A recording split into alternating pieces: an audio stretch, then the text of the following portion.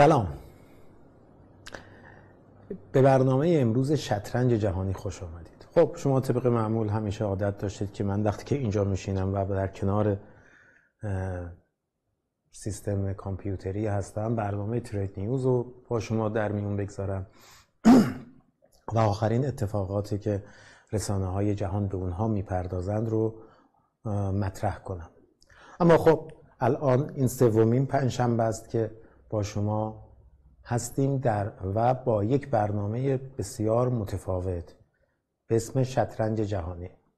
خب تو شطرنج جهانی هم که هفته پیش هم با شما صحبت کردم به ژئوپلیتیک سیاسی و اقتصادی جهان, جهان می‌پردازیم. اینکه به هر حال مبادلات و معادلات اقتصادی و سیاسی جهان رو کدوم کشور کدوم عامل و کدوم فاکتور تعیین می‌کنه. هفته اول رو با انتخابات آمریکا شروع کردیم. هفته دوم رو با که هفته پیش بود با بحث مربوط به خاور میانه و اینکه معادلات این خاور میانه چه نقشی در تحولات سیاسی و اقتصادی جهان رو ایفا می‌کنه صحبت کردیم. از نفتش صحبت کردیم از جمعیتش صحبت کردیم از تنگه هایی که تنگه های استراتژیکش حرف زدیم. تنگه های هرمز و باب المندب و همچنین کانال مهم سوئز که چیزی نزدیک به 40 درصد تردد کشتی های تردد دریایی جهان رو به خودش اختصاص داده. و قرار بود تو این برنامه در مورد اینکه آیا خاور میانه می‌تونه کشور آرومی باشه منطقه آرومی باشه که اقتصاد جهانی رو به راحتی در خودش حل بکنه. قرار بود تو این برنامه درباره اون صحبت بکنیم. اما یک اتفاق بسیار مهمی رخ داد که عملا برنامه ما رو به یه سمت دیگه ای تغییر میده و در مورد بحث مربوط به راحل های خاور میانه انشالله برنامه های بعد. اون اتفاق مهم چی بود؟ در واقع بحث هستش که چین اخیرا راه انداخته. یعنی مدت ها پیش راه انداخته. اما دوباره تونسته با راهبرده هایی که در اختیار گرفته دوباره اون موضوع جدید و شکل دادن اقتصاد نوین جهانی رو را بندازه. و امروز برنامه جغرافیای ژئوپلیتیک جهانی یا شطرنج جهانی به موضوع چین اختصاص داره که چین چه نقش مهمی رو در ژئوپلیتیک جهانی ایفا می‌کنه.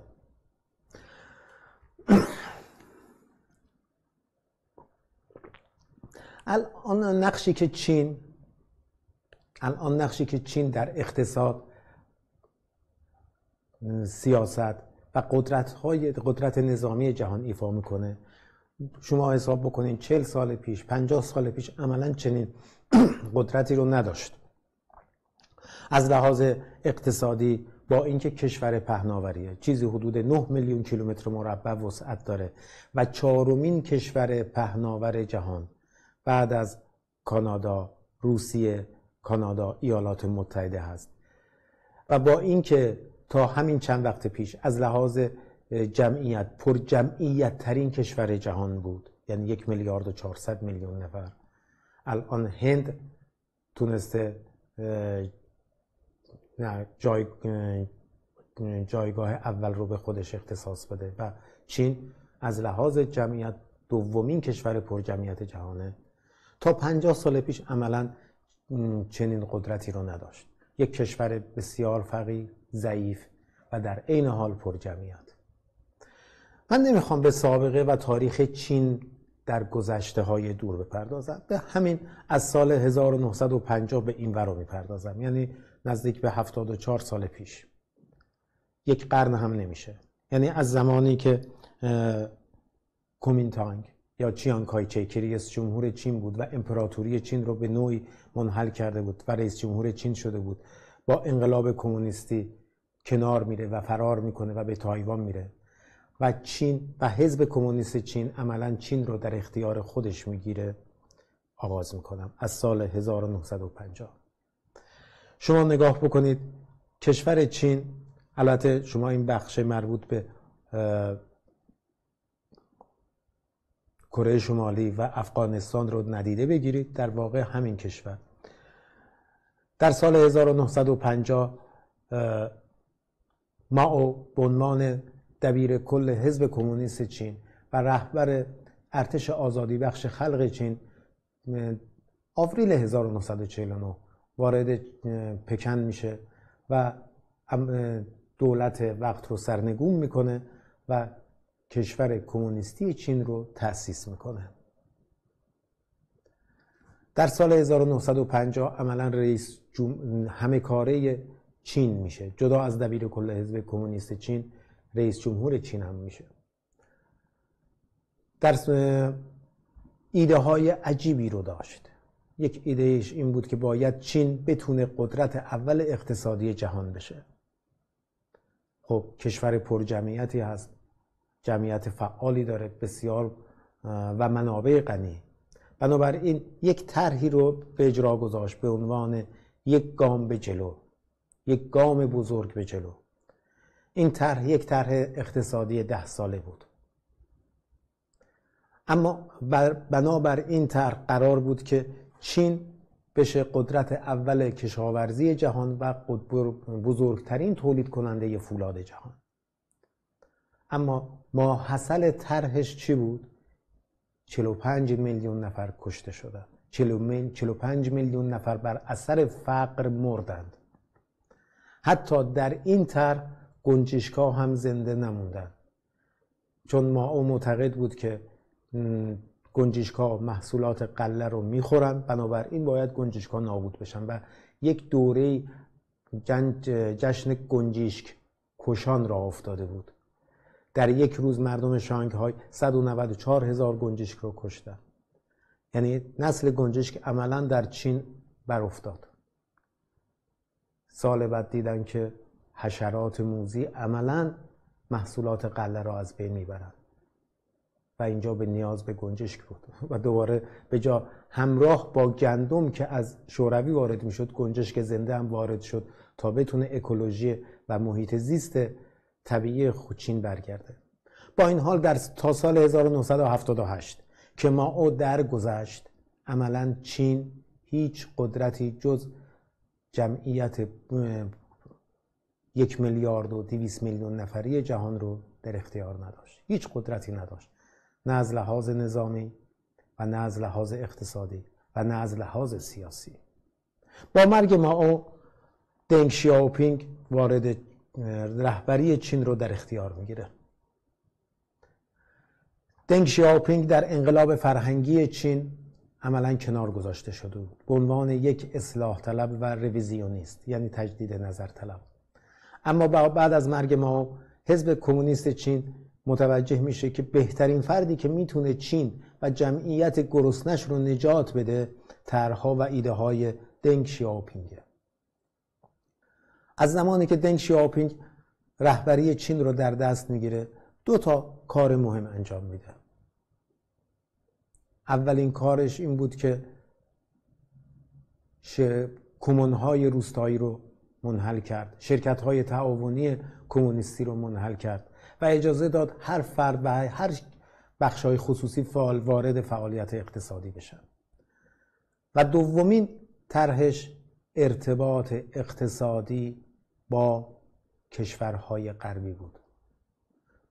تا پیش از تا زمان مرگ ما عملا ارتباط اقتصادی چین با کشورهایی مانند شوروی و یا بلوک شرق بود. و با بلوک غرب کمترین ارتباطی رو نداشت. هرچند که در اواخر دوره ما او چین یک ارتباط نیمبند اقتصادی رو با کشورهای طرفدار غرب مثل حالا ایران زمان پهلوی و غیره برگزار کرده بود و حتی قرار شده بود ایران در اونجا سرمایه گذاری بکنه. اما ارتباط منسجم و قوی رو نداشت.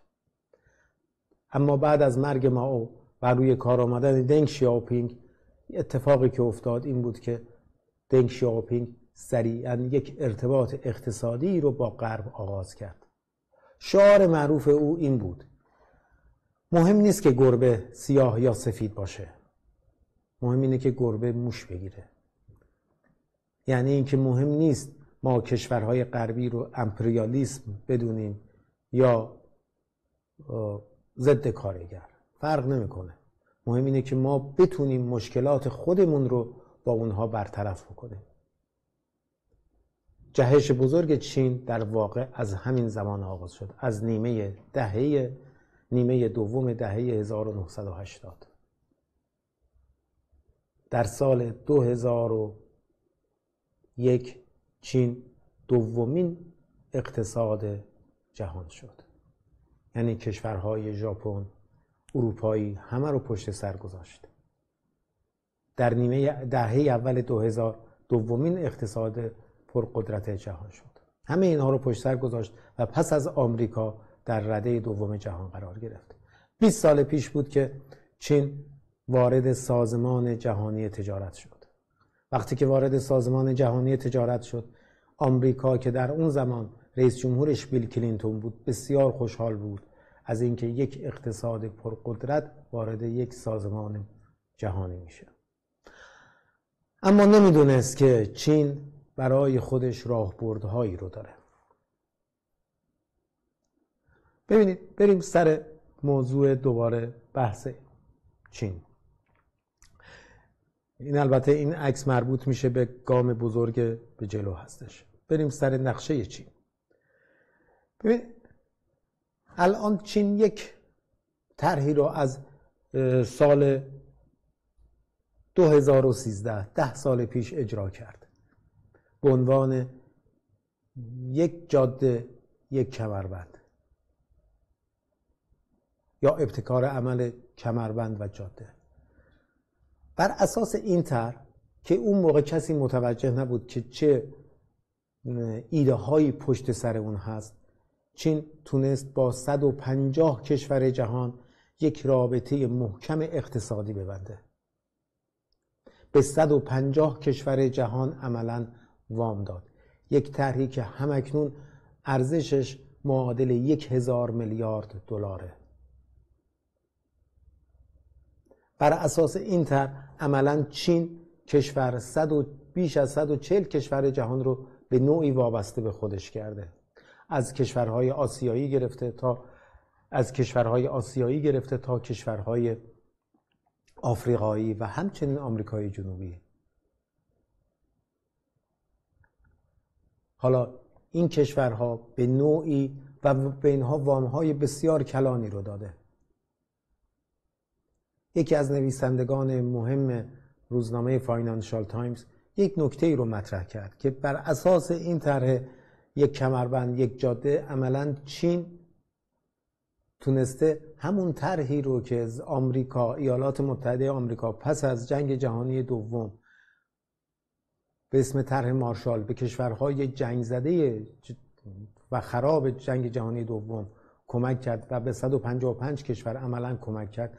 این طرح معادل همون طرح مارشاله طرح مارشال باعث شد که کشورهای جهان عملا به آمریکا وابسته بشن.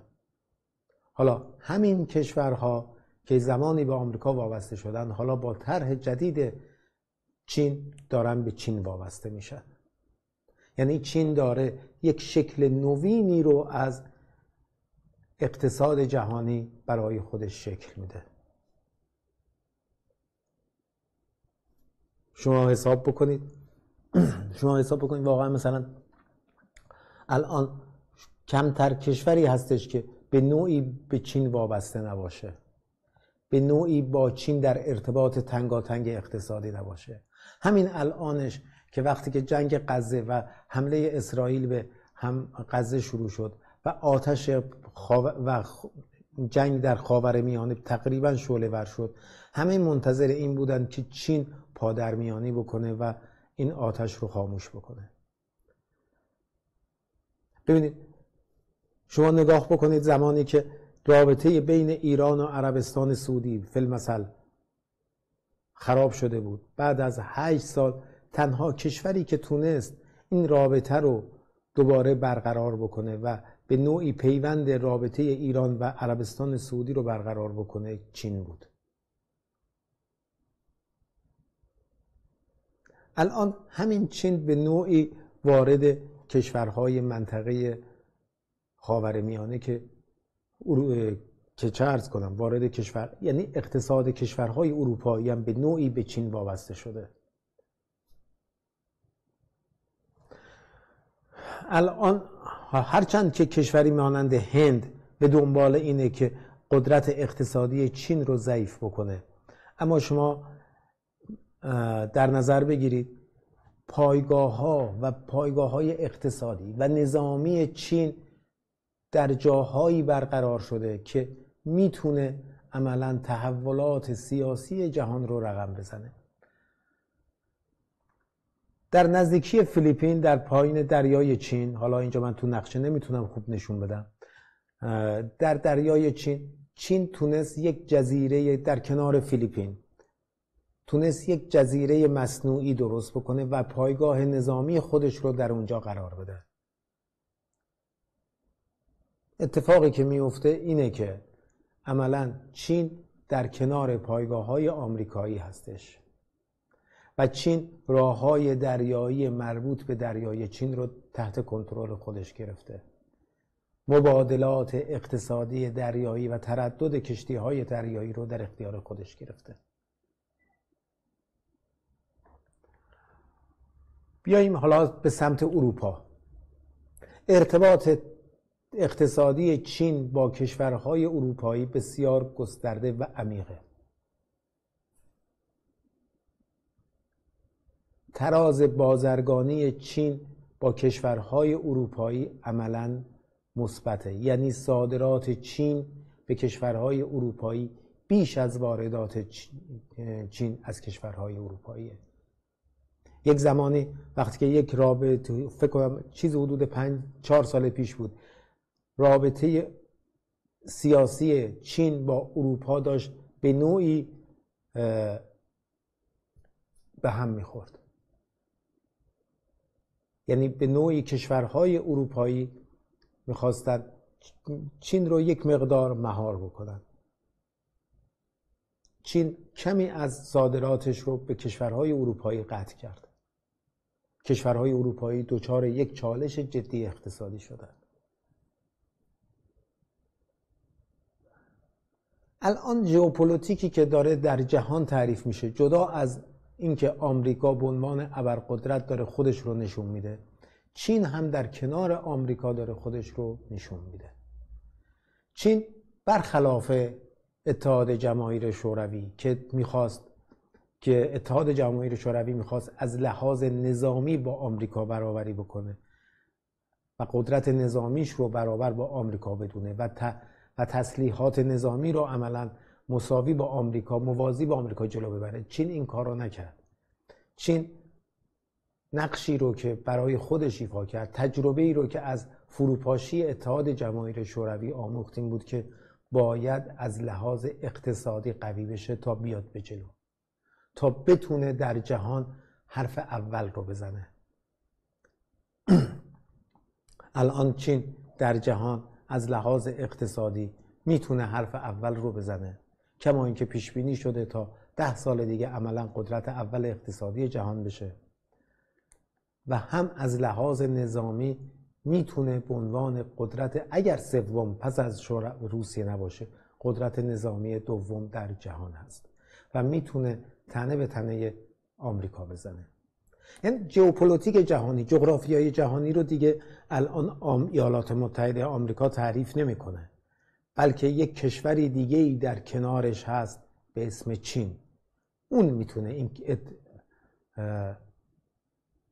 ژئوپلیتیک جهانی رو تعریف بکنه و داره با طرح کمربند یک کمر ابتکار عمل کمربند و یک جاده داره این نقش مهم رو در جغرافیای جهانی ایفا می‌کنه.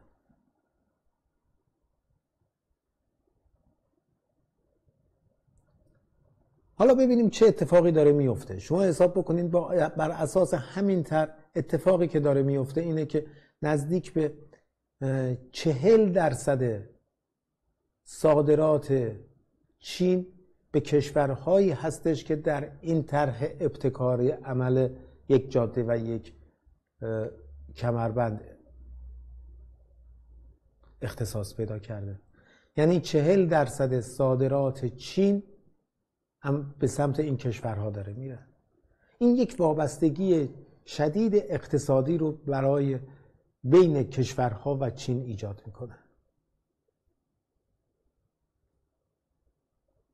کشورهایی که دیگه نمی‌تونن بدون چین زندگی بکنن. کشورهایی که با توجه به وامهای کلانی که چین برای این جاده به این کشورها داده عملا به نوعی در گرو چین قرار گرفتن.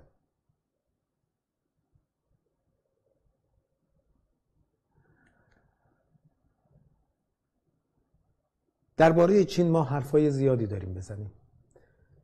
حرفای بسیار مهم و اینکه چین داره چه کار می‌کنه تو این جغرافی های جهانی و ژئوپلیتیک جهانی. چه نقشی رو برای آینده خودش در نظر گرفته؟